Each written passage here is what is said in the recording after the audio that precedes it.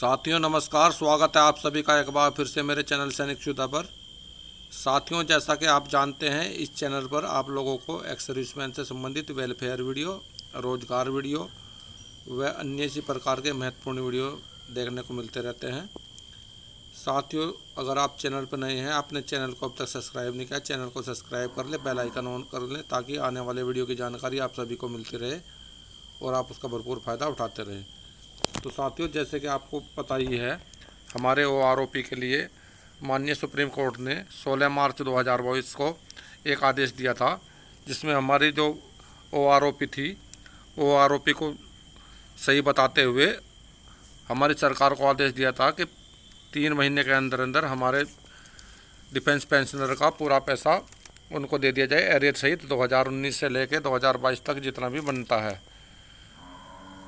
तो इसके लिए साथियों सरकार ने अभी तक इस पर कोई कार्रवाई नहीं की है और तीन महीने भी कभी के गुजर चुके हैं, लेकिन अभी तक इस पर कोई निर्णय नहीं आ रहा है। जैसा कि पीसीडीए को हमारे मेजर जनरल सतबीर सिंह ने चिट्ठी लिखी थी। चिट्ठी में पीसीडीए से पूछा था इसके बारे में कि ओ आर का जो एरियर है, उसकी कार्रवाई कहाँ तक पहुँची है। तो पी ने इसमें जवाब दिया था कि उनका फाइनल टेबल बनकर तैयार है, सिर्फ़ सरकार की तरफ़ से। ओ एम जे सी रिपोर्ट का इंतज़ार है। जैसे ही कोई ओ एम जे सी रिपोर्ट सरकार की तरफ़ से आ जाएगी तो वो एरिया टेबल जारी कर देंगे। लेकिन साथियों, सरकार ने तीन महीने का इसमें वक्त मांग लिया। सरकार के वकील ने सुप्रीम कोर्ट में एप्लीकेशन दी है कि उन्हें तीन महीने का और वक्त दिया जाए इसमें।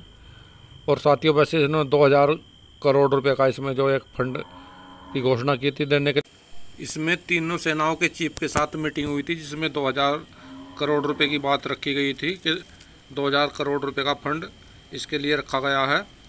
तो साथियों आपको नहीं लगता 2000 करोड़ रुपए का फंड इसके लिए काफ़ी होगा? क्योंकि साथियों मेजर जनरल सतबीर जी के हिसाब से तो एक जवान का कम से कम एरियर दो ढाई लाख रुपए बन रहा है। तो इस हिसाब से तो ये फंड काफ़ी नहीं होगा यह फंड बहुत ही कम है। इस, इसका मतलब ये होता है कि सरकार जो एरियर देगी उसमें एरियर हमें एक आदमी को मुश्किल से बीस तीस हज़ार रुपये दिया जाएगा, एक जवान को बीस तीस हज़ार से ज़्यादा हमारा एरियर नहीं बनेगा क्योंकि दो हज़ार करोड़ रुपए का फंड तो बहुत ही कम है।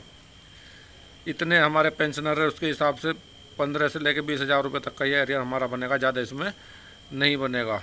कितना पैसा हमें मिलेगा एरियर टेबल जारी होने के बाद ही पता लगेगा, लेकिन साथियों, अब इसमें ग्यारह जुलाई 2022 के बाद में क्या होगा, क्या नहीं होगा रिव्यू पटिशन जैसे इन्होंने डाला हुआ है, उसका कोई इफ़ेक्ट पड़ता है या नहीं पड़ता है, सरकार को वक्त दिया जाता है तो कब से तीन महीने का समय दिया जाएगा, सुप्रीम कोर्ट कितना समय दे रही, देगी इसको तो इसके लास्ट कब तक होगा, इन सभी के बारे में तो आगे जैसे ही कोई निर्णय होगा तभी पता लगेगा, फ़िलहाल तो सुप्रीम कोर्ट के फैसले का इंतज़ार है, वो इस पर क्या फ़ैसला देती है और सरकार को कितना वक्त दिया जाता है।